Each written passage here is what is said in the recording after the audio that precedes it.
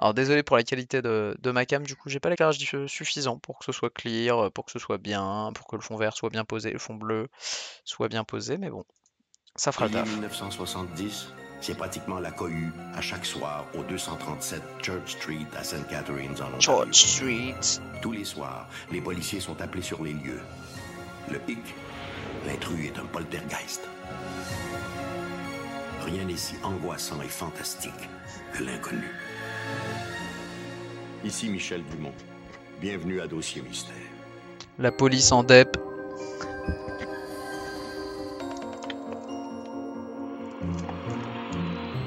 Tous les soirs, elle m'appelle. Tous les soirs.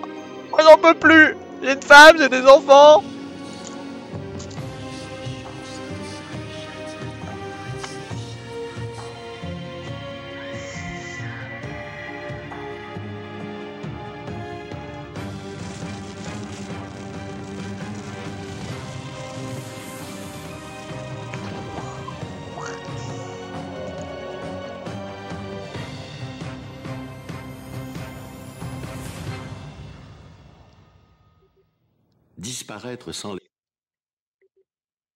Qu'est-ce qui se passe?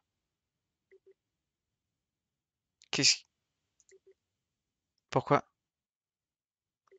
Qu'est... Ah Qu'est-ce qui se passe? Pourquoi je m'entends en double? On dirait que je reçois un appel. Qu'est-ce qui se passe? Tel audio. Qu'est... À l'aide? Ah, je me suis assis dessus. Ah. Mais euh... Pourquoi je m'entends... Enfin, pourquoi je suis en mode écoute? Parce que j'ai fait ça? Je... C'est bon, c'est fini. Ok. Alors, je sais pas pourquoi, je sais pas comment, mais quand je reste appuyé sur ma touche 7.1 euh, de, de, mon, de mon nouveau casque, la touche 7.1, quoi, euh, qui, c'est une touche comme ça. Ça fait euh, un boop boop dans mes oreilles. Alors j'imagine que du coup vous l'avez entendu. Mais je, ne sais pas ce que ça veut dire le boop boop. Hein. Ah mais je peux me mute en fait. Regarde. Oh là là là là là là là.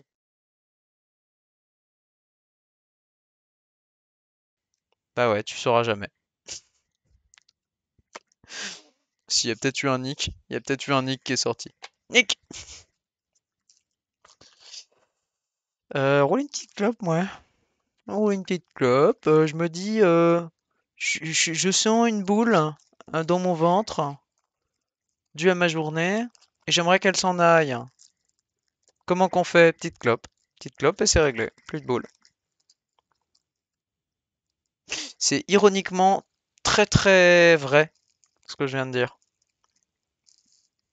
Et du coup, je suis content parce que ma caméra, elle est tellement dégueulasse avec les filtres que j'ai mis dessus, qu'elle ressemble étrangement beaucoup à la qualité du documentaire. J'aurais dû mettre un grain sur ma cam. Mais euh, je pense que c'est pas nécessaire.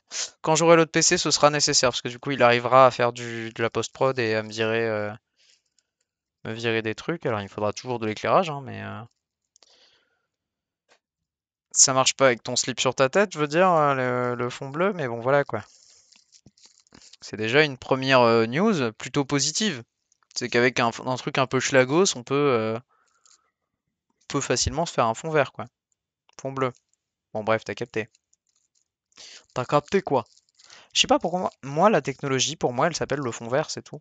Elle s'appelle pas le fond bleu, tu vois. Dans ma tête, la technique employée, c'est le fond vert, c'est pas le fond bleu. Mais en fait, c'est aucun des deux, c'est la clé chromatique, colorimétrique. Et non co, co- salope. Pardon, c'est euh, la tourette qui agit euh, quand j'arrive pas à dire un mot. Je suis content quand même d'être en stream, de me dire peut-être que ça se trouve ça marche pas et je m'en fous en fait parce que le PC il arrive, euh, il est censé arriver si tout se passe bien, soit vendredi, non peut-être samedi, sans doute samedi. Donc c'est super. Alors c'est ma vieille machine, hein, c'est pas euh, pas le PC de ouf non plus, mais c'est vachement mieux que ça déjà. Parce que là on est sur un PC de bureau euh, type euh, professionnel quoi. Type, on, fait du Excel en gros, max. Et encore. Et encore. Il n'y a pas de blague. Et encore. Je l'ai déjà vu, je l'ai déjà surpris à bugger sur Excel. Et là, je me suis dit, il est temps de faire déplacer l'ordi quand même. Quand même, hein. Parce que c'est sur Excel, moi, que je fais mon budget, perso. Euh, ça fonctionne plutôt bien, les formules de calcul sont plutôt ok. C'est sur Excel que je l'ai fait. Et euh, bah, mon PC a du mal avec Excel. Ce qui est plutôt triste, parce que mon PC a du mal avec à peu près tout, quoi, finalement. À part, euh, si j'allais dire à part Internet, mais si aussi. La lecture sur YouTube est pas non plus euh, excellente.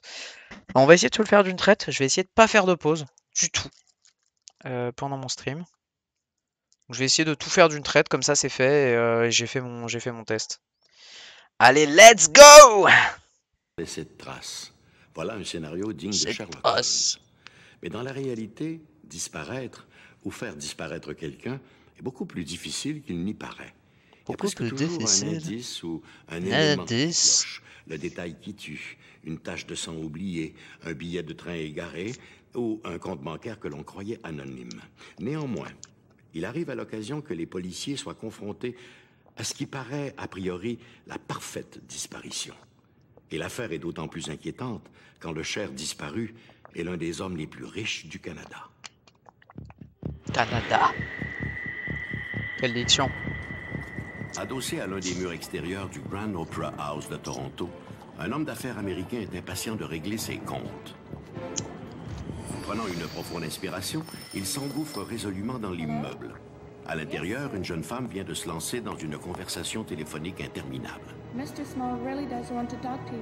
L'Américain ruiné souhaite rencontrer le propriétaire de l'endroit, Ambrose Small, mais la jeune femme semble ignorer sa présence. Profitant de l'inattention de la jeune femme, l'homme monte l'escalier menant au bureau de Small. De toute façon, vu, vu les nerfs du mec, il allait faire quoi?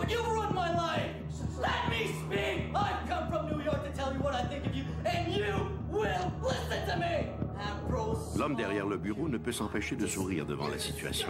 Ce visiteur inopportun le prend pour Ambrose Small. Pour un quoi? Se présente John Doughty, le secrétaire. Le prend pour un jambon? Pour un quoi? Pour Ambrose Small. Pour un blow small. C'est quoi un blow small? J'ai pas la ref. Qu'est-ce qui se passe? La traduction elle est aux fraises. Ce visiteur inopportun le prend pour Ambrose Small. Oui, d'accord pour l'osmose.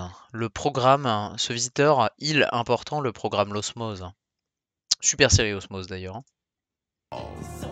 Pour l'instant. Il se présente, John Doughty, le secrétaire particulier d'Ambrose Small. Il est tout à fait d'accord avec les propos de l'inconnu. Son patron est définitivement le plus beau salaud en ville. Indécis sur l'attitude à adopter, l'homme au chapeau accepte la main tendue vers lui. Ambrose Small va être épargné, du moins cette fois. Comment ça, du moins cette fois? Né en Ontario en 1863, Ambrose J. Small commence très tôt son ascension dans le monde des affaires. Ah bon? À 13 ans, embauché comme plongeur au luxueux Warden Hotel de Toronto, l'adolescent commence à faire des petits boulots plus ou moins illicites pour ses employeurs. Small se montre ah particulièrement doué pour tout ce qui touche la tenue de livres. Il devient vite l'intermédiaire numéro un entre les plus riches joueurs de la ville et leurs bookmakers. À la même époque, le jeune Small se déniche un second emploi comme ouvreur au Grand Theatre. Et rapidement, il passe d'ouvreur à responsable de la programmation et n'hésite pas à mettre à l'affiche des pièces jugées ouvertement scabreuses pour l'époque, telles Scabreuse. que The Sewing Machine Girl. Scabreuse. À cette époque, Ambrose Small était sans doute le plus brillant homme d'affaires canadien jamais associé au théâtre national. Pour ses salles, il mettait à l'affiche les plus grands noms de la scène. Imaginez par exemple le théâtre de votre quartier mettant en vedette durant une même semaine des noms aussi prestigieux que Céline Dion, Elton John et Luciano Pavarotti. Small avait le flair pour deviner ce que les Canadiens désiraient voir, et cela lui assurait un incroyable succès. Avec les années, bien. le petit plongeur du Warden se transforme en un redoutable homme d'affaires. Il fait bientôt l'achat d'un modeste théâtre dans la région, mais son rêve est d'acquérir le Grand Opera House de Toronto. Pour lui, il Comment ça, modeste? Small se montre un homme d'affaires dur et redoutable. Ambrose Small devient riche et puissant. Ses ennemis vont de pair avec ses succès. Il fréquente le monde interlope de la métropole et s'impose comme un habitué des champs de course. Je sais pas pourquoi sa moustache, elle a, elle a pas l'air vraie. Tout le monde savait que Small était un joueur invétéré. Il lui arrivait d'aller jouer de l'autre côté de la rivière en dehors de Toronto, là où bien entendu la police municipale n'avait plus aucune juridiction. C'était une activité que pratiquaient aussi de nombreux gentlemen, des habitués des plus prestigieux clubs de Toronto. En d'autres termes, Small n'agissait pas en voyou en s'adonnant au jeu. C'était d'ailleurs un excellent joueur. Il était plutôt chanceux. La chance du gars. Son penchant pour les femmes est tout aussi notoire. On le voit aussi bien avec de jeunes starlettes qu'avec des femmes de petite vertu. Comment ça de petite vertu, mon ref Ambrose Small était un coureur de jupons notoire. Il faut se mettre dans sa position. Voilà l'un des hommes les plus influents du théâtre canadien qui côtoie chaque jour de jeunes choristes, souvent prêts à tout pour se faire une place dans le monde du divertissement. Ah oui. En pareil cas, beaucoup d'hommes auraient été tentés par la C'est situation. l'époque. Ambrose Small, lui, n'a pas seulement été tenté. Il y a succombé sans retenue.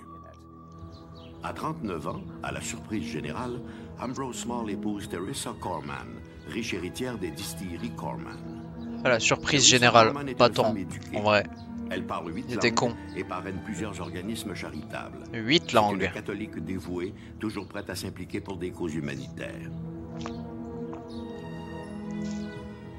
Bref, tout le contraire de son époux, un protestant égoïste pour qui l'argent est la seule motivation.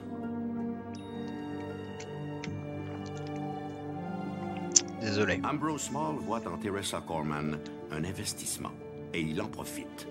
Grâce à l'argent de sa femme, il peut réaliser son rêve, acheter le Grand Opera House de Toronto. Il y emménage son bureau et fait construire une pièce secrète pour y recevoir ses charmantes visiteuses, des infidélités sur lesquelles sa femme ferme les yeux. En 1919, Ambrose Small est au sommet de sa gloire. Il possède quelques 90 théâtres et salles de concert en Ontario. Mais le cinéma gagne en popularité. Small voit dans cet engouement un signe avant-coureur du déclin du théâtre. Il est temps, croit-il, de se départir de ces salles. Le 2 décembre En effet. 1919, Désolé Ambrose encore. Small s'est rendu au bureau de la compagnie des théâtres Trans-Canada, où il a signé un contrat de vente pour la totalité de sa chaîne de théâtre, une transaction de quelque 1,9 million de dollars, l'une des transactions les plus lucratives de l'histoire du divertissement en terre canadienne. Il a vendu tous ses théâtres? même, Il reçoit un chèque d'un million de dollars que sa femme Teresa s'empresse d'aller encaisser à la banque. Dans l'après-midi, il informe son fidèle secrétaire, John Doughty, que les nouveaux propriétaires souhaitent retenir ses services comme secrétaire et directeur artistique. John Doty était le secrétaire d'Ambrose Small, mais il n'avait pas beaucoup d'estime pour lui. L'histoire raconte que Small introduisait souvent dans ses contrats des clauses douteuses qui le favorisaient au détriment de son client. Or, lorsque le client Ah. en question découvrait l'arnaque et s'en prenait à Small, Small répliquait C'est la faute de mon idiot de secrétaire. oh, Il appelait alors Doty pour l'engueuler et l'humilier devant le client. On comprend qu'après quelques séances du genre, Doty n'a commencé à éprouver que du mépris pour son ancien patron. Tu m'étonnes, mon ref. Small festoie aussi en compagnie de son avocat. Il est de bonne humeur et le champagne coule à flot. Ah bah oui. Vers 17h30, le Elle maniaque est clairement fausse. du Grand Opera House Sa et moustache. s'arrête un instant au kiosque à journaux de Ralph Savine pour y acheter le New York Times. Mais la tempête de neige qui s'abat alors sur tout l'est des États-Unis a retardé la livraison du journal. Ah mince, la tempête en JPEG. et lance au commis une poignée d'injures. Ralph Savine sera le dernier homme à voir Ambrose Small vivant. That son of a bitch. Il s'est écoulé un certain temps avant que la police ne soit informée de la disparition de Small. On raconte que Small était connu pour organiser des soirées scabreuses avec ses choristes. for want of a better word, with all these chorus girls. And his wife, Or, Ok, sa femme, qui était bien scabreuse, hein. On parle de fermait les yeux sur ses escapades. uh. Mais au fur et à mesure que les semaines ont passé, et nous parlons ici de presque un mois, l'inquiétude a gagné ses proches, et en particulier son avocat, Eve Locke, qui avait son bureau à London. Fermez la fenêtre. En lisant la correspondance que Flock a adressée à ses associés, on y devine cette inquiétude grandissante. Personne ne dit ouvertement qu'Ambrose Small a disparu. Les lettres sont écrites avec la plus grande prudence. Mais au début du mois de janvier 1920, Oups. ils reconnaissent qu'il est temps de faire quelque chose. C'est à ce moment-là qu'ils informent la police de la disparition d'Ambrose Small. Ah, seulement Ah oui. Pendant que les policiers fouillent chacun des théâtres du controversé euh, d'affaires à la recherche d'indices, Tout le monde s'en bat les couilles, Small quoi. fait publier un avis de récompense de 50 000 dollars à quiconque permettra de retrouver son mari, mort ou vif. La police a commencé par reconstituer le fil de ce qui pouvait s'être passé. Ouais, ça a pas dû être dur, hein. que Small avait peut-être été assassiné dans le théâtre et son corps brûlé dans la fournaise située au sous-sol. Pourquoi il y a... Ils ont fait tout ce qu'ils pouvaient pour Allez. retrouver Ambrose Small. Ils ont offert une récompense et ont suivi tous les indices possibles. Ils se sont même rendus à London, en Ontario, à des centaines de kilomètres de Toronto, où ils ont passé son théâtre au peigne fin, espérant y trouver son corps caché quelque part. Cela dit, je ne crois pas qu'il s'agissait d'une enquête policière approfondie. En fait, la police n'avait pas la moindre idée de ce qui pouvait être advenu de cet homme. Small avait certes beaucoup d'ennemis, mais ses ennemis auraient-ils pu être suffisamment en colère pour l'assassiner? La police n'en Oui. savait rien. de- Il a détruit la, vie de millions de personnes. au Milliers, pardon. Son secrétaire, John Doughty, Peut-être pas, mais... été revu lui non quand même. plus depuis le 2 décembre. Les sans doute. Découvrent que dans les heures suivant la disparition de son patron, Doughty s'est présenté à la Dominion Bank de Toronto où il encaissait J'ai même 100 pas de 000 chat. en bons du trésor. Il y a zéro effort. Le scénario voulant que Dodie ait assassiné Ambrose a vite été envisagé. Lorsque la police de Toronto a fait rechercher Dodie pour le vol des certificats, elle était confiante de tenir également le meurtrier de Small. D'ailleurs, lorsque les avis de recherche Small. concernant Dodie ont été publiés, l'annonce disait qu'il était aussi recherché pour avoir joué un rôle dans l'enlèvement d'Ambrose Small. Mais finalement, la police n'a jamais rien trouvé en ce sens. Dodie a été retracé aux États-Unis, extradé et ramené à Toronto. Il a été traduit devant les tribunaux sans que l'on puisse toutefois le lier à la disparition ou à l'assassinat de Small. Il a simplement été accusé pour le vol des certificats. Teresa Small, elle aussi, est longuement interrogée. Pourquoi a-t-elle attendu aussi longtemps avant de rapporter la disparition de son mari? Pressée de questions, elle avoue tout Ah, des pas de chat infidélités de son affiché. époux, lequel s'absentait fréquemment des dommage. jours durant sans la prévenir. Comment aurait-elle pu se douter, au soir du 2 décembre, qu'il en allait autrement? Comment? After all these Après toutes ces années, rien n'a jamais été retrouvé. Ni Ah bon? ni os. Rien qu'on aurait pu associer à Ambrose Small. Genre, actuellement, là? La police n'a jamais retracé Ambrose Small. Il n'a été déclaré mort qu'en 1924 et encore à cette époque, l'affaire demeurait ouverte.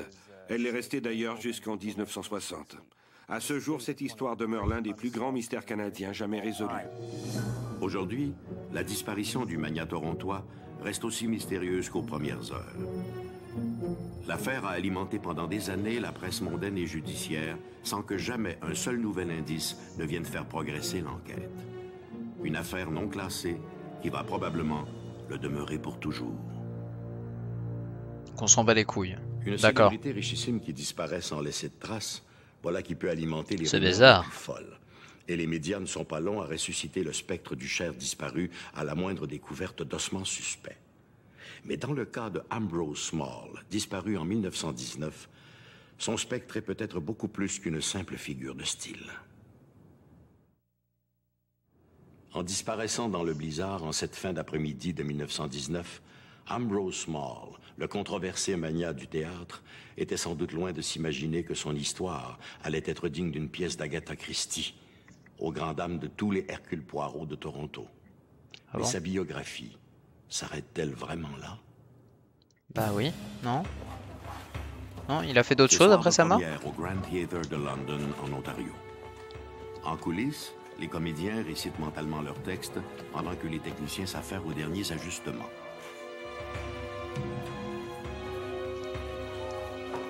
Un peu en retrait, une jeune muse répète ses répliques. Soudain, elle sent sur sa nuque un souffle chaud, respire. Elle se retourne, mais il n'y a personne. Puis, Ah, donc si t'es un connard, tu peux revenir de souffle chaud, suivi d'une impression de toucher, comme si quelqu'un avait posé une main sur sa hanche. Décontenancée, la jeune C'est une artiste, euh, elle est zinzin. Puis, encore une fois, elle sent un contact sur sa hanche.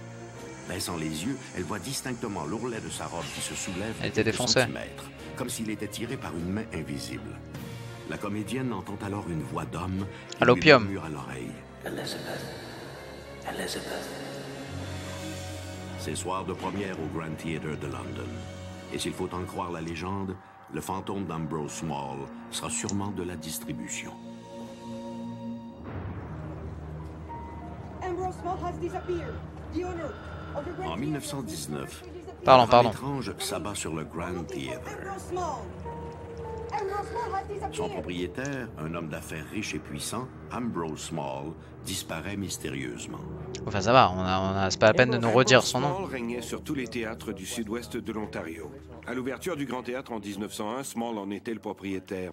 Lorsqu'il a vendu son empire, il a encaissé son chèque et avec 100 000 dollars en poche, il a disparu. On ne l'a jamais revu, sauf sous la forme d'un fantôme qui arpente les corridors du Grand Théâtre. Je ne savais rien de la légende du fantôme avant de commencer à travailler ici.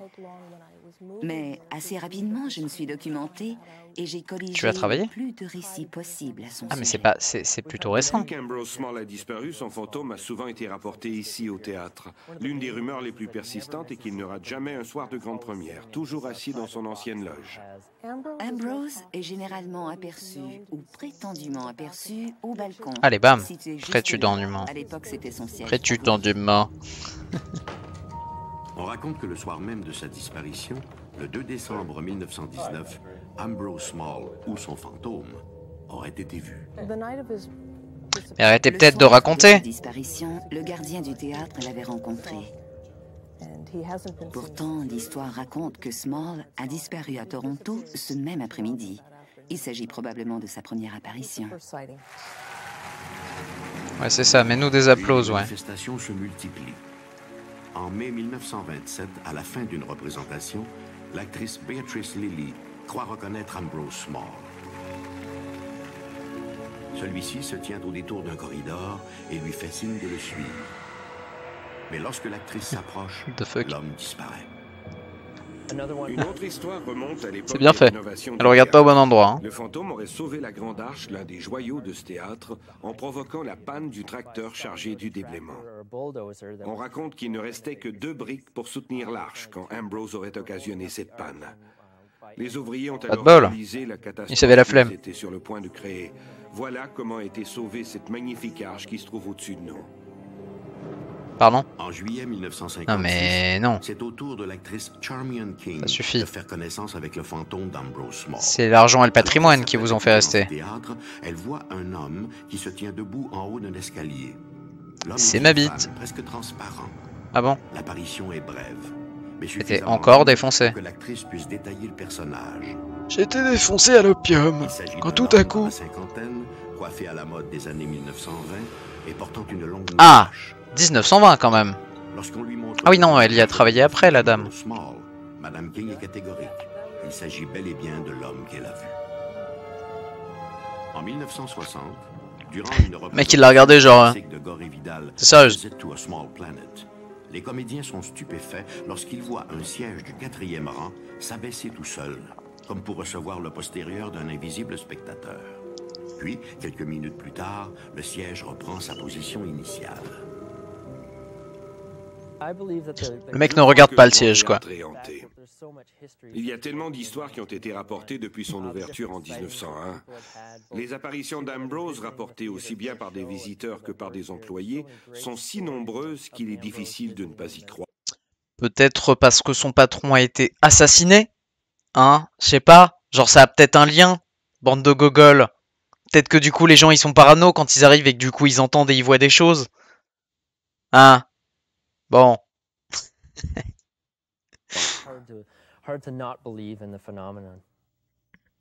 Oui voilà, c'est dur de pas y croire. Bah euh, oui, Avec le temps, la légende c'est le problème du coup. Porté sur les femmes de son vivant, on raconte que son fantôme continue à harceler les jeunes comédiennes, Yes. les toucher déplacés ou en chuchotant leur prénom. Les gens auraient entendu murmurer ou vu des apparitions. Marotina de simples lumières ou des formes humaines. C'est le voisin de derrière. Hein. Senti une présence. Tout récemment, une comédienne a raconté qu'elle avait senti quelque chose glisser sous sa robe. Elle a fait comme C'était un rat. Et bien entendu, il n'y avait absolument rien. Pour elle, il n'y avait aucun doute qu'il y avait bel et bien quelqu'un à ses côtés. Oui, Michel derrière le mur. Le fantôme à plusieurs reprises. Il a fait un cock roll à travers le mur. Peu de temps après la mort de mon frère, c'était des moments difficiles.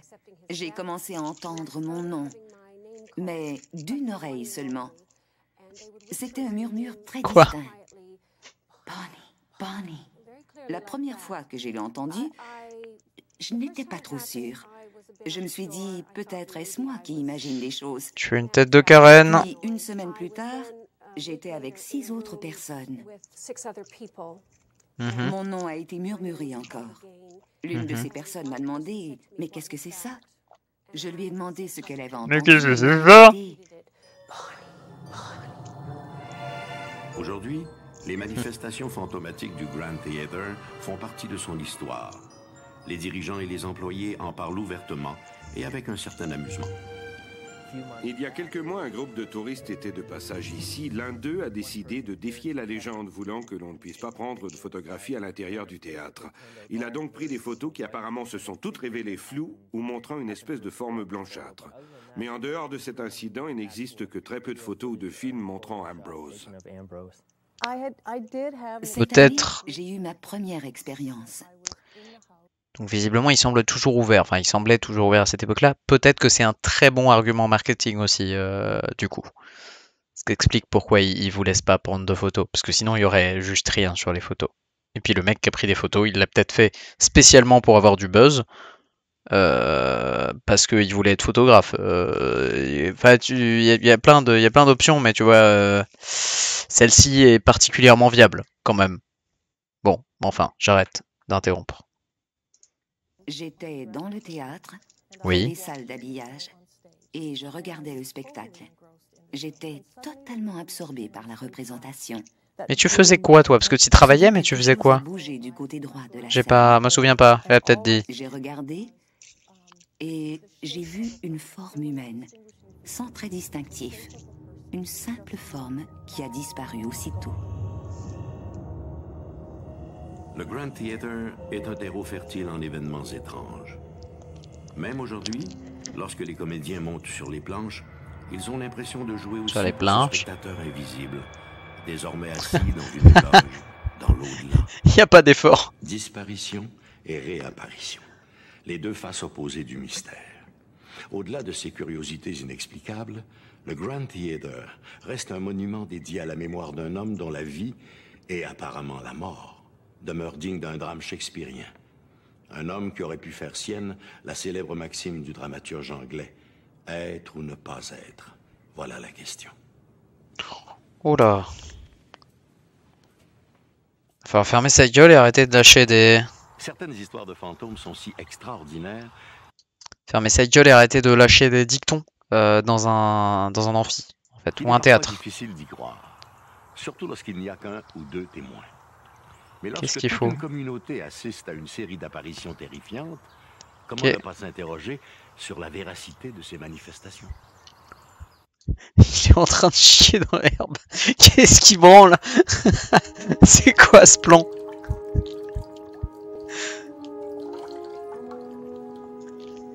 Dans la soirée du 4 septembre 1878, deux sœurs, Jane et Esther Cox, se préparent pour la nuit. Ah mais faut changer de nom là les filles. C'est normal qu'il vous arrive des trucs avec un nom comme ça. C'est juste normal.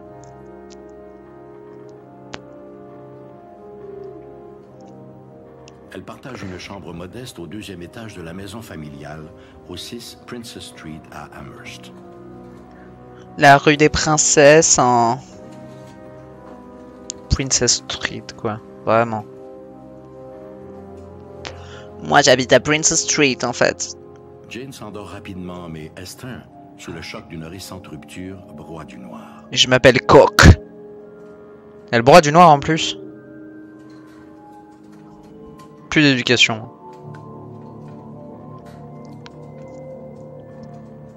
Un bruit étrange, un grattement régulier l'arrache à sa tristesse. Le miroir est nul. Murmure-t-elle à sa sœur. Écoute. Il y a des rats. Effectivement, la boîte de carton qu'elles utilisent pour mettre des bouts d'étoffe et des bobines de fil fait des petits bonds en l'air, apparemment animés par une souris prisonnière dans la trousse de couture. Oui. D'un coup sec, Jane en soulève le couvercle. Il n'y a rien. Des bobines de fil et quelques morceaux de tissu.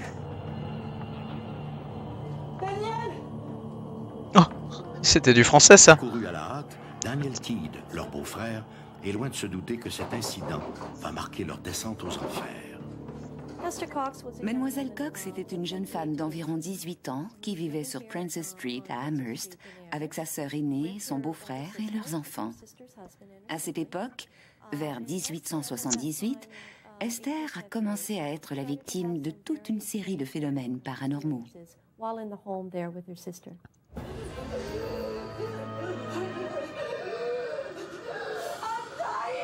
Le lendemain, le 5 septembre, quelques minutes après s'être mise au lit, Jane est réveillée par les cris d'Esther. Prise de tremblement, Esther ne cesse de répéter « Je meurs, je meurs Tu fais un rêve éveillé quoi. ». L'état d'Esther a de quoi inquiéter. Toute la maisonnée se retrouve à nouveau à son chevet. C'est un cauchemar, hein, c'est un cauchemar, tu ne meurs pas, ta gueule. Elle répète des mots inintelligibles et secoue la tête, à l'instar d'une possédée. C'est alors qu'un claquement puissant, comme un coup de tonnerre, ébranle toute la maison. C'est ok. s'écroule sur son lit et sombre dans un profond sommeil. Bah, y a, y a peut-être un tremblement de terre du coup, parce que ça fait beaucoup d'événements. euh. Alors que suivent. les sans incidents sont presque oubliés, c'est au tour Ah de bon, la literie de normal. Vous êtes sur une plaque tectonique. Alors que Jane vient de se coucher, ses draps et ses couvertures sont brusquement arrachés du lit et le même phénomène se répète avec la literie de sa sœur. Le drap il s'est roulé d'une façon tellement pas naturelle. Esther, prise de convulsions, est en transe. L'inquiétude règne dans le petit cottage de Princess Street. Bah elle est tarée quoi. Ça arrive. La famille n'avait pas la pas grave. idée de ce qui lui arrivait. Ils ont Enfin, si, des mais bon. puis des prêtres, mais personne n'a été capable de l'aider. Elle, elle a peut-être un, un problème mental, euh, la dame. Non? Elle était malade, avec de temps à autre des moments de lucidité. Elle avait Alzheimer quoi. Ou un AVC. Le médecin du village, le docteur Carreet, examine Esther. Toute Eh oui. moralité est fiévreuse. C'est les signes. De- Ça peut être les signes Dépression nerveuse. d'un AVC ou d'une DEP, ouais. Mais la santé de sa patiente l'étonne moins que son oreiller tiré par une main invisible. Le docteur Carreet, qui était le médecin de famille, s'est rendu au chevet d'Esther. Elle était fiévreuse et elle disait qu'elle brûlait. Pendant sa visite, il a vu la literie être arrachée et les oreillers s'envoler. Toute la famille était Ah. également présente. C'est pas ce qu'on a vu. Il s'est rendu sur place, où il a lui aussi été témoin de ces phénomènes pour lesquels il n'a trouvé aucune explication. Il s'y est rendu à plusieurs reprises et a signé plus tard un affidavit confirmant ce qu'il avait observé. C'est un montage ou qu'est- qu'est-ce que c'est en arrière-plan? Parce qu'on dirait un truc sur fond vert, moins dégueulasse que le mien, et avec une incrustation de porte et une, maquette de maison, c'est trop bizarre comme plan. Déjà, le plan est fait pour être euh, film d'horreur. Euh, c'est les. Ça fait vachement affiche de merde. Comment ça s'appelait ces trucs-là, là, les petites revues euh, que tu trouvais au collège euh, des fois? Merde. J'ai zappé. Des peurs ou des trucs comme ça. Chair de poule. C'était chair de poule. T'avais des plans comme ça. Ça me fait vachement penser à ça, je sais pas pourquoi. Ou aux pubs des années 90. il s'est aussi avoué incapable d'expliquer les problèmes médicaux d'Esther. Nous disposons d'une très bonne documentation pour l'ensemble de ces phénomènes. C'est alors que les C'est super. une tournure beaucoup plus menaçante. Des marques apparaissent sur le mur, juste au-dessus de la tête d'Esther Cox. Des marques qui forment bientôt des lettres, puis des mots. Ah, c'est Cox avec un X. Bah ça va du coup. Et ça veut pas dire un truc, Cox avec un X? Attends, petite trad. J'arrive pas à ne pas m'arrêter, hein, c'est dingue. Petite trad, petite trad. Euh... Non Si Cox, ça veut dire un truc de merde, non? Oui, enfin, après, fais un effort, euh, s'il te plaît, euh, Dico. Fais un effort. Merde, Cox, expression. Euh, expression, enfin idiome. C'est une idiome, je crois. Je sais plus. Cox Idioms, the Free Dictionary. Yep, yep, yep. Dictionary. Personne se manque toujours. Ils sont donc jamais ensemble l'expression Non, bah non, c'est boîte et Cox. Box and Cox. Boîte et Cox. Oui, mais ça, c'est une expression française. C'est pas pas un idiome. Définition de Cox en anglais. UK. Ok, donc c'est de l'anglais de base, donc peut-être possible que ce soit au Canada, mais. Coxswain. D'accord. The person who sits in the back of a rowing boat and control its direction. D'accord. Bah non, bah ça veut bien dire un truc, mais on s'en fout. Ça n'a aucun rapport avec. euh, C'est vachement genre Cox. il y a eu un bruit, comme si quelqu'un raclait le mur au-dessus. Par contre, quelqu'un marque, enfin quelque chose marque des lettres dans ta maison. C'est pas la meuf qui est sur le lit. Et attends, il vient de dire il y a eu un bruit, je comprends rien. Je attends. Soudain, il y a eu un bruit, comme si quelqu'un raclait le mur au-dessus du lit d'Esther. Ils ont levé les yeux, et pour citer les comptes rendus, c'était comme si quelqu'un utilisait une barre de fer chauffée au rouge pour graver dans la pierre. Ah ouais, c'est vénère quand même. euh. Putain. C'est pas le poltergeist euh, qui, qui, qui joue avec des mouchoirs et, euh, et qui peut très bien être un chat, quoi. C'est le poltergeist, euh, il chie dans ton salon, il grave sur les murs, il encule ta... m- Bon, bref. Ils ont regardé, et les mots qui s'écrivaient Dis sur donc. le mur étaient Esther Cox, tu es à moi, et je te tuerai. C'est très long. Euh, il aurait pu écrire quelque chose de vachement plus simple si ça lui prend vachement d'énergie. euh. Genre euh, Esther, euh, genre Esther, euh, you're gonna die. C'est pas ou euh, Esther euh, die en fait. Enfin, c'était très bien. it wasn't Ces incidents ne se produisaient pas seulement quand Esther était seule, mais aussi lorsqu'il y avait des gens autour d'elle. Tous les gens au village en étaient effrayés. Éventuellement, la presse a publié un compte-rendu de ces événements, et dans un petit village, les nouvelles voyagent toujours plus vite. Du jour au lendemain, Oui, voilà, bah euh, c'est c'est juste il y a des gens qui l'ont euh, entendu plus tôt et qui ont été gravés dans la maison. euh, je sais pas, dos au mur ou un truc du genre, je sais pas, mais connerie, connerie bite. le cottage de Princess Street devient l'objet de la curiosité de tout le comté de Cumberland. Mais c'est toujours dans les années 20 ou 10 là, stop. À Amherst, la rumeur va bon train. Et La si rumeur va bon train. était possédée. C'est bien vrai. Il y avait de Et nombreuses si choses qui se produisaient dans la maison. Des couteaux volés dans la cuisine, des meubles étaient renversés, et encore une fois, il y avait tous ces bruits étranges. C'était comme vivre dans une maison hantée. But, when Mais lorsqu'Esther Bah oui. s'absentait, tous les phénomènes s'arrêtaient. Apparemment, ce n'était pas la maison qui était hantée, mais bien Esther elle-même. herself, who was a haunted girl. Mais elle est partie combien de temps de la maison euh... Tire des conclusions vite, ces gens-là. Hein. Ne dit-on pas qu'un prêtre méthodiste, venu chez les Cox pour y prier, aurait vu un seau plein d'eau bénite se mettre à bouillir en présence de la jeune femme? On le dit ou c'est sûr? Ne raconte-t-on pas que des micelles auraient bondi hors des bancs d'église lors d'une cérémonie liturgique à laquelle assistait What the fuck? Oui! Wouhou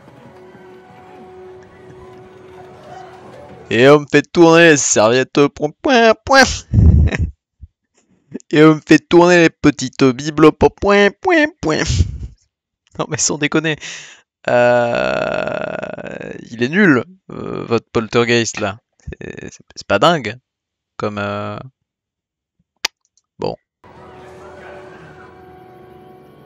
Graduellement, l'état de santé d'Esther s'est détérioré. Pour son bien-être, sa famille décide de l'envoyer pendant deux semaines chez une autre de ses sœurs à Sackville, au Nouveau-Brunswick.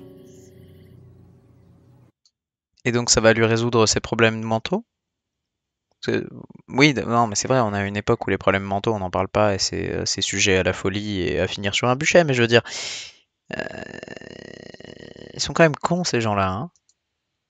Durant toute sa convalescence, aucune manifestation insolite n'est rapportée, ni à Amherst, ni à Sackville. L'optimisme renaît. Wow, La maladie d'Esther Cox aurait-elle eu raison du malin? du malin? Non. Spoiler. Déçu. Vers la fin du mois, Esther rentre à Amherst et avec elle les étranges manifestations du 6 Princess Street. Des allumettes enflammées se matérialisent et tombent des plafonds. What the fuck? heureusement vite maîtrisés, se déclenchent spontanément d'un bout à l'autre de la maison. Non mais elle jouait un jeu, elle avait des problèmes mentaux, elle se relevait dans son sommeil et elle allait balancer des allumettes partout. Euh, là, il nous montre une mise en scène où ils sont là et où la meuf est là, mais c'est certain que tout ça, elle l'a fait dans le dos. C'est certain. C'est certain. Et on entend un bruit. Ils étaient, le- le- la gravure. En fait, ils étaient au sous-sol. Ils ont entendu un bruit. La meuf, elle était complètement pyromane. Elle a cramé un bout de bois et elle a marqué dans le mur, tu vois. Plus personne ne dort. Craignant pour sa Le commentaire. Plus personne ne dort. famille, Daniel décide qu'Esther doit partir. Il Bien était dit. devenu dangereux d'héberger Esther. Des feux s'allumaient spontanément, des couteaux volaient dans tous les sens, et il y avait deux jeunes garçons qui vivaient avec eux. Elle a donc déménagé auteur de Guilty, le mec a écrit l'histoire quoi. Enfin, je veux dire, euh, je- oui, d'accord, t'es un, t'es un, tu, tu écris des romans fantastiques, mais euh, ça, ne- ça ne fait pas de toi quelqu'un de compétent pour parler de ça. Tu n'étais pas là, si? chez monsieur et madame John White. Celui-ci s'absentait souvent pour aller travailler à son Je pense saloon, pas. laissant Esther seule avec sa femme. Mais Et travailler en saloon, euh, je pense pas. produire. Alors qu'Esther lavait le plancher, par exemple, Éventuellement. la brosse qu'elle utilisait a disparu pour retomber presque sur leur tête. Chassée, Esther retourne vivre sur Princess Street. Son retour est de nouveau marqué par le déclenchement de nouvelles manifestations, maintenant rapportées par tous les journaux de la Nouvelle-Écosse. Hmm. Walter Hubble. Walter Hubble a appris l'histoire d'Esther Cox, probablement par le biais J'espère que les musiques sont pas journaux. C'était un acteur populaire, originaire des États-Unis, et il voulait voir de lui-même ce qui se passait. Walter, qui ne devait demeurer J'ai à envie de Amherst pisser. que quelques jours, s'est arrangé pour habiter avec la famille. Il a donc vu tous ces phénomènes se produire autour d'Esther. Peu à peu, il a réussi à convaincre la famille de les laisser organiser un spectacle itinérant où Esther pourrait exhiber ces étranges phénomènes sur scène. What the fuck? Walter Hubble espère que l'invisible compagnon d'Esther Elle est possédée, faisons de l'argent avec. Ok, je vais pisser. Sur cette réflexion, je pisse. C'est incroyable quand même.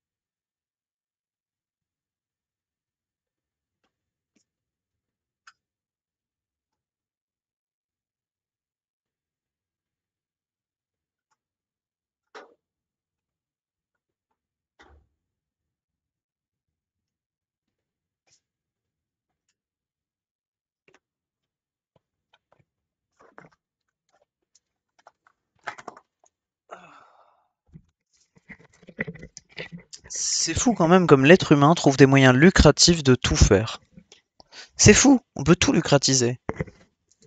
Ça se dit pas. Manifestera son courroux devant des salles bondées de spectateurs. Plus d'une fois, les spectateurs ont été déçus parce qu'il ne se passait rien. Mais en d'autres occasions, ils ont entendu les coups frappés et la seule idée que ces choses étranges arrivaient à Esther alors qu'elle était sur scène les enthousiasmait. Pas con, hein. Hélas pour lui, l'entreprise se révèle un fiasco. Ah, Il signe Dommage. en 1908 une petite monographie sur les étranges événements entourant Esther Cox, intitulée The Great Amherst Mystery. As a playwright, Comme auteur de pièces, il avait certainement le sens du spectacle, mais il s'est efforcé de rapporter les faits avec la plus grande objectivité, tel que décrit par les témoins. Le livre intitulé Le grand mystère Ok. d'Amherst présente les témoignages de plusieurs villageois. Et cela ajoute sans doute à la crédibilité de cette histoire. sans doute. Il est pas convaincu, lui. De retour à Amherst, les choses ne s'améliorent pas pour Esther Cox. Ce qui rend cette histoire si intéressante, c'est que ce n'était pas une maison qui était hantée, mais une personne. Là où Esther allait, son fantôme la suivait. Et quand les couteaux ont commencé à voler dans la maison, il est devenu impératif de faire quelque chose. qu'est-ce que ça donne là pas seulement la vie Pardon. d'Esther qui était menacée, mais celle de tous les autres membres de la famille. Ils ont éventuellement trouvé pour elle un Alors c'est intéressant, mais ça marche pas. séjour n'a pas été long. Alors qu'elle nettoyait les tables, un incendie s'y est déclaré. Éventuellement, Esther a été accusée d'être responsable de cet incendie. Arrêtez avec vos éventuellement. Comment ça, éventuellement Mais elle a été libérée après seulement un mois pour bonne conduite. Et peut-être aussi à cause de la pitié qu'éprouvaient les gens qui croyaient à son histoire. Durant son incarcération, un homme de Springdale Pourquoi a commencé à la fréquenter et à sa sortie de prison, elle l'a épousée. Esther Cox convolera en juste noces avec le dénommé Adam? Étonnamment, la Bah, vas-y, hein. coïncidera avec la fin du fantôme de Amherst. Pardon, j'étais complètement en audition et j'avais zappé que j'étais pas revenu sur mon écran. Près de deux ans, a fait de la vie d'Esther et de sa famille un véritable enfer.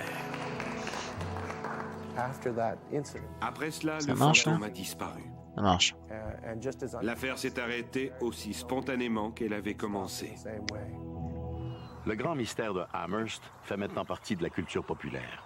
L'histoire d'Esther Cox a fait Il a toujours pas fini de chier, hein. l'objet de plusieurs pièces de théâtre, d'un roman et a servi de canevas à de nombreux scénarios de films.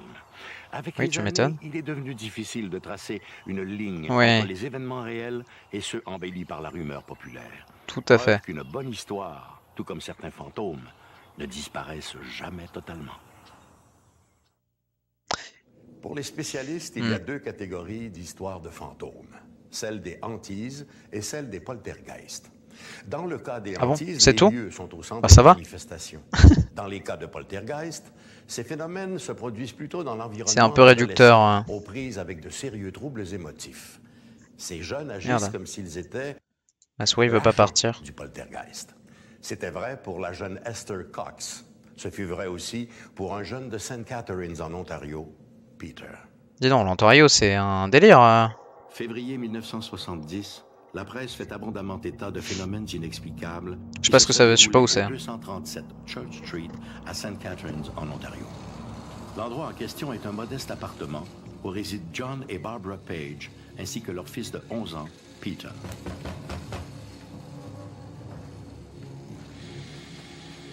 Quelques jours auparavant, c'est le constable Robert Crawford qui a été le premier policier Alors, à je fais un chez les Page pour dresser un rapport des événements qui s'y seraient déroulés. Ça marche pas.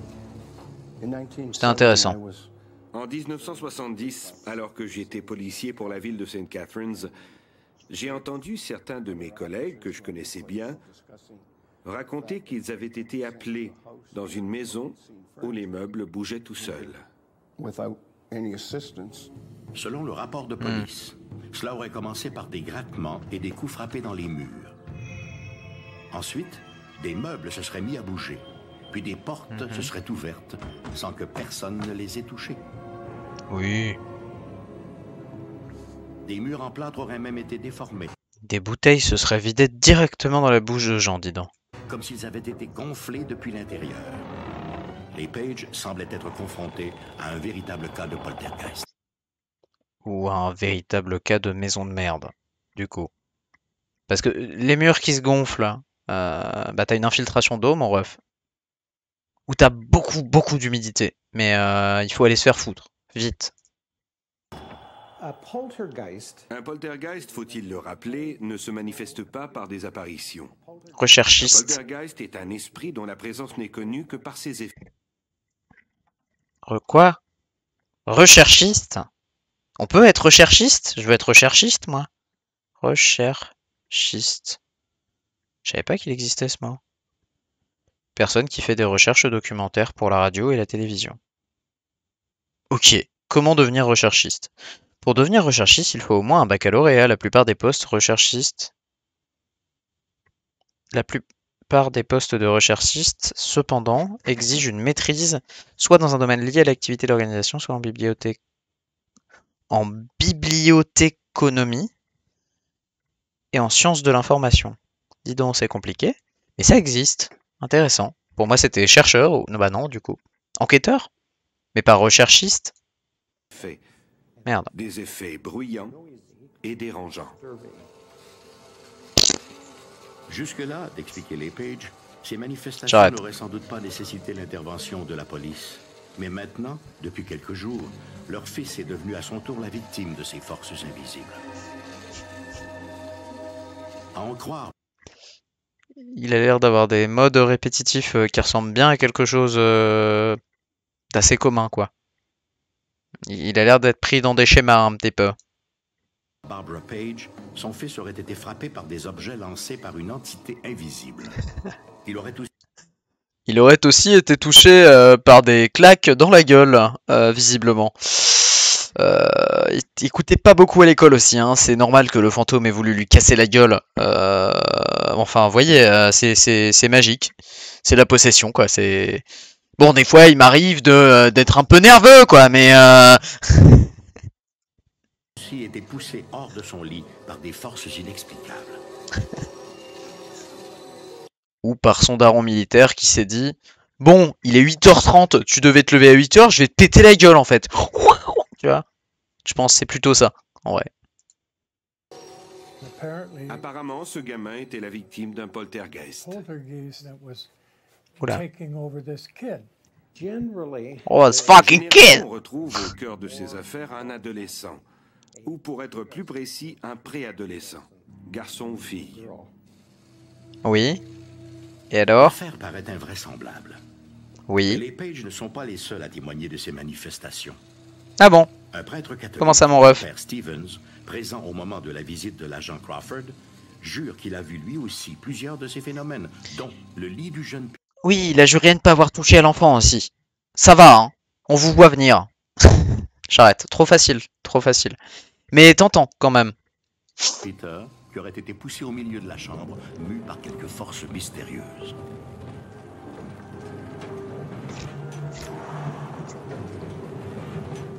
Je reconnais, toi, tu voulais monter en grade à l'église, non? Tu voulais, euh, dans le bail de tout ce qui est, euh, tout ce qui est tu, voulais, tu voulais partir. T'en avais marre. Tu voulais aller à Géru, s'amuser entre copains, quoi. John et Barbara Page font visiter l'appartement à l'agent Crawford, lui montrant chaque méfait causé par l'entité invisible. Ici, c'est un mur qui a été défoncé, Euh, Je peux avancer ma théorie. Je disais que euh, peut-être que cet enfant a un autisme, euh, il est ce qu'on appelle HP aujourd'hui. Peut-être. Dans tous les cas, euh, il n'y a rien de trop paranormal là. Il n'a pas écrit son nom, il n'y a pas du rouge à lèvres qui a été étalé sur le miroir pour dire euh, I see you, euh, il n'y a pas de. Enfin, tu vois, peut-être juste la nuit, il se lève et il prend une massue et il défonce un mur, quoi, tu vois. Parce qu'il est frustré ou parce que ou parce que ou parce que euh, parce que ça va pas dans sa tête, parce que tu vois, parce qu'il n'est pas compris, parce que euh, il y a plein de raisons qui font qu'il est frustré, énervé et il pète des plombs. Il est pré-ado, c'est tout à fait l'âge pour des trucs extrêmes comme ça. là une commode qui a été renversée. Puis alors que toute la troupe se tient dans le corridor menant aux chambres, le groupe entend un vacarme venant de la cuisine. La table a été déplacée et les chaises renversées. Cet enfant est en manque d'attention, ma foi. Il s'est levé, il a fait. il est revenu vers sa manette. Personne personne m'a vu. Yes Les Page répètent que c'est là le genre de phénomène auquel ils sont confrontés depuis plusieurs jours, et qu'encore une fois, le point commun est la présence du jeune Peter. Bah oui. On s'est rendu sur place. Je me tenais à l'entrée du salon. La mère se trouvait ici, mon collègue était là, sitting right across. et assis de l'autre côté, il y avait un prêtre. Alors c'est peut-être l'âge, hein, mais si tu te déplaçais à cette vitesse, c'est normal que t'aies pas vu le gamin pousser la table et foutre les chaises au sol, tu vois. Vu ton temps de réaction actuel, euh, je pense, euh, mon ref, qu'il s'agit du gamin. Il portait le col clérical et une religieuse.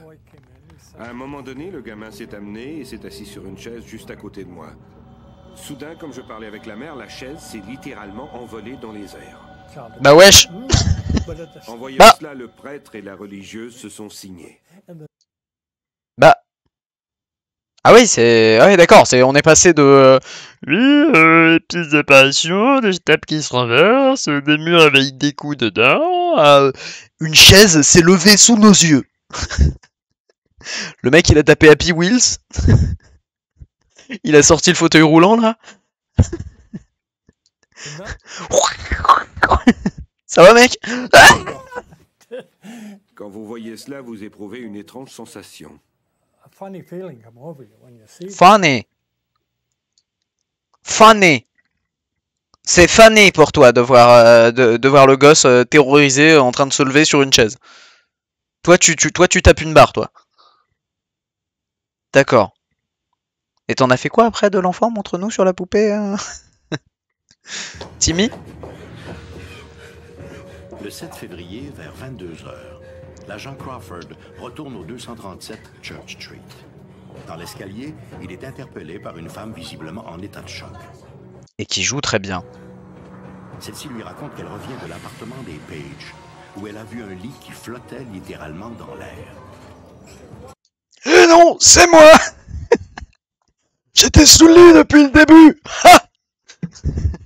Je suis Jean Vert Je suis un petit bonhomme Tout vert On me supprime avec les FX Le policier se dirige directement vers la chambre et ce qu'il y voit le laisse pantois. Le laisse pantois. extrémités du lit se tient à 60 J'aime bien l'inaction du gars en Ah bah, qu'est-ce que tu veux que j'y foute, moi je... je- moi, je me suis engagé, euh, on m'a dit, euh, tu vas faire des PV, euh, tu vas euh, déplacer des véhicules qui seront mal garés, euh, euh, ah, je me retrouve avec des lits qui flottent, quoi cm du sol. Il n'est soutenu par aucun objet ou support. L'agent Crawford n'en croit pas ses yeux. En vérité, il est un peu superstitieux et il a pas vu que sur le côté du lit, il y avait une barre en bois, tu sais, un peu comme une réglette, là, qui était sur le côté et que le lit, il était juste posé là-dessus, quoi. Et que le gamin, il a trouvé euh, le moyen de, de bloquer son lit, je sais pas quoi, euh, n'importe quoi. Nique ta mère. d'un cas extraordinaire et bien documenté de hantise. Ce qui a Allez, Aladdin, vas-y. Montre-nous. cet appartement est tout à fait surprenant. have the police On a les rapports des policiers. Je veux un tapis. Et en plus des trois ou quatre constables, on compte parmi les témoins un avocat et un prêtre venu là pour y pratiquer un exorcisme. Tous ces gens étaient témoins de Qu'est-ce que j'en ai à foutre d'un prêtre Genre, euh, de- enfin, pour avoir une euh, réplique factuelle de, de ce qui est dit, il est pas qualifié, le gars. Bon, par contre, l'avocat, en effet, il peut être qualifié. Après, euh, c'est pas neutre et impartial. Si, il est censé, hein. Ah, vas-y, dans les années où ça s'est passé, peut-être pas. hein. phénomènes semblables à ceux décrits dans le film L'Exorciste. exorcist. Ah, ok. Mais il existait déjà, l'exorciste? Au moins cinq autres policiers de St. Catharines vont être témoins d'événements étranges au 237 Church Street. Le lama. Toutes ces manifestations Oui. autour du jeune Peter. Il est où, Peter, là? Parce qu'on l'a déjà vu, ça. Oui. le phénomène des poltergeists est généralement lié à des adolescents. En fait, beaucoup plus qu'à de jeunes enfants, à cause des nombreuses transformations auxquelles ils font face, tant sur le plan psychologique Donc lui, il est enquêteur. Qui mène des enquêtes. Mais quel type d'enquête? C'est pas enquêteur euh, de, de la police, c'est enquêteur, enquêteur. Hmm. que physique. À Pardon. la fin de la journée. En fait, beaucoup plus qu'à de jeunes enfants, à cause des nombreuses transformations auxquelles ils font face, tant sur le plan psychologique que physique. À la fin de la journée, le jeune Peter, qui vient tout juste d'entrer à la maison, est stupéfait lorsqu'il voit un journal flotter littéralement dans les airs. Le journal reste suspendu quelques secondes, puis il est violemment projeté en plein visage du garçon. Ouais, c'est bien ça, c'est que vous avez pas réussi à le reproduire non plus, puisqu'un journal ne peut pas être violemment projeté, c'est un journal, en fait. Qui est quand même soumis à la gravité, tu vois. Puis au pire, euh, au pire, euh, tu passes à travers, quoi. Surtout dans ces années-là, le journal, il est fait en peau de cul, euh, genre, euh, il est fait, c'est du papier, euh, on peut rouler des clopes avec, donc bon, j'imagine que ça va, quoi. Les parents étaient inquiets pour la sécurité de leur fils. C'est normal. Le père craignait aussi que son nom soit publié dans la presse et que son garçon devienne l'objet de moqueries à l'école. Ah bah, c'est c'est trop tard, ça, mon ref. Le journal local, The Standard, tire sur cinq colonnes la manchette qui déclenche un véritable cirque médiatique. Des quatre coins du pays et même de l'étranger, des dizaines de journalistes, d'experts ou de simples curieux téléphonent aux autorités. Tous veulent en savoir davantage sur ces phénomènes inexplicables.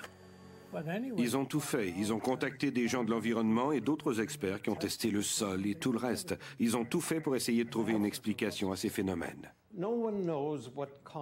Personne ne sait exactement ce qui provoque ces manifestations. Si manifestations il y a, bien sûr. Nous avons de nombreux rapports et même des films montrant ces phénomènes qui se produisent en de très rares Bah. occasions. Montrez-nous. Ces occasions sont spontanées, sporadiques et donc impossibles à reproduire en laboratoire. Mais tout le monde veut voir. Pour les Page, la situation devient insupportable. Si les médias ont respecté jusqu'à maintenant leur anonymat, il en va autrement dans leur quartier, où ils sont connus. À l'école, le garçon est victime des railleries de ses compagnons. L'affaire n'a que trop duré. Vers la fin du mois, les Page quittent St. Catharines pour aller loger chez des parents. Alors, Peter, tu n'as pas de moment Durant Tu te prends pour un rasta pour euh, te détendre Connard, va. présence de Peter, ni en son absence. Petit con. Lorsqu'ils reviennent dans leur appartement de Church Street, tout semble être définitivement rentré dans l'ordre. Ces Ah oui. étranges manifestations, qui pendant Ça se voit à la qualité du mur. des semaines leur auront empoisonné l'existence, semblent bel et bien terminées. Les Page ne rapporteront aucun autre incident insolite. I've been involved in Dans ma vie, j'ai été impliqué dans bien des affaires, mais jamais rien de semblable. Ni avant, ni après. Il y a un besoin d'attention générale euh, dans la famille. Allez, petit commentaire.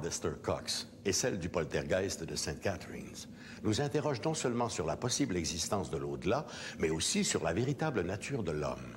Si ces phénomènes sont, comme certains le croient, des manifestations d'esprits désincarnés, que cherchent-ils En revanche, si ces phénomènes sont le produit inconscient des victimes, par quelle gymnastique ces jeunes esprits à bouleverser leur environnement par la seule force de leur pensée Il est en plein urbex là? Rencontre insolite. Allez, moi je vais chercher mon caméscope. C'est parti, Gus DX Disparition mystérieuse. Qu'est- Qu'est-ce qu'il fout en plein urbex Euh, J'ai oublié son nom. J'ai oublié son nom. Faits étranges. Ah oui, bah c'est bon, votre animation là, on l'a déjà vu. Fabuleuse. Pourrait peut-être nous révéler enfin Oh, la vérité fabuleux. cachée derrière ces mystères extraordinaires. Et peut-être que cette personne, c'est vous. ta gueule, et il est sympa le miroir par contre. Comment ça c'est nous euh... Oh oh oh Tu te déteignes Moi je te le dis, tu te déteignes hein Je pense qu'on s'en bat les couilles, j'ai pas besoin de mettre euh, tout le générique si Si, je vais me faire DMCA si je mets pas tout le générique Non mais attends, revenons à la scène où il est en urbex là. Où il commence à se retourner, ouais. Quand on commence à voir le décor. Rencontre Eh moi j'ai envie de pisser là insolite. Disparition mystérieuse. Et voilà, c'était Mystère, Dossier Mystère, pardon, épisode 1 de la saison 1. Il y aura aussi Mystère à voir. Euh, je meurs d'envie de les faire. J'ai vu qu'il y avait euh, Seb qui les avait fait.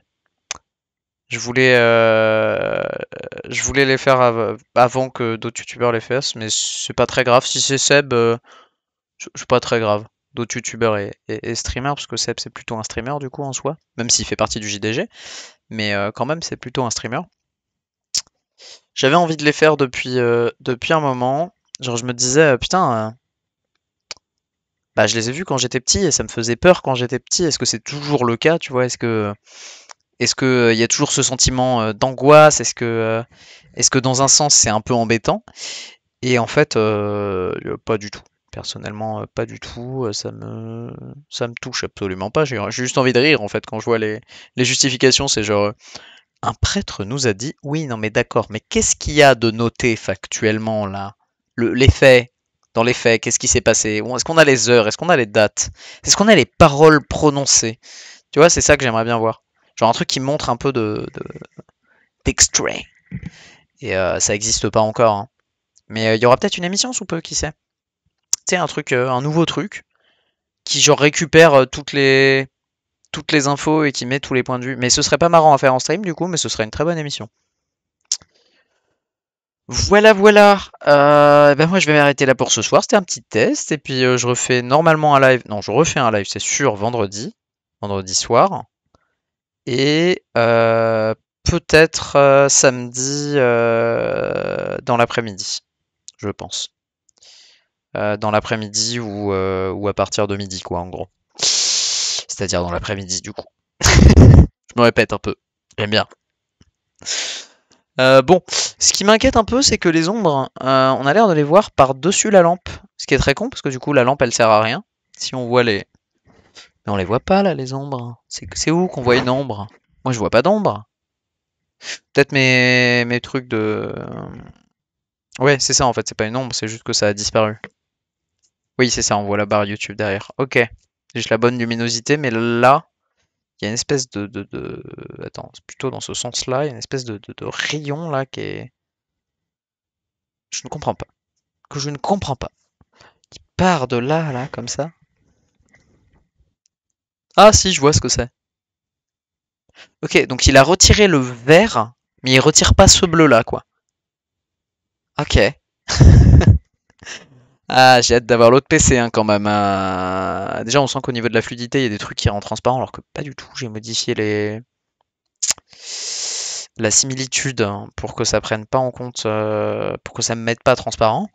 Sauf que ça, c'est transparent visiblement, alors que c'est ni bleu ni vert, ni quoi que ce soit. Non, j'ai même pas retiré de vert en fait. J'avais retiré que du bleu. Ça n'est en aucun cas bleu, hein. Ça n'est pas bleu.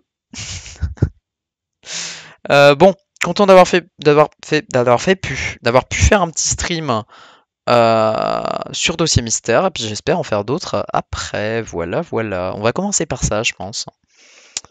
Euh, le temps que je puisse acheter des composants petit à petit. Et puis, euh, et puis voilà. À la prochaine. Bisous.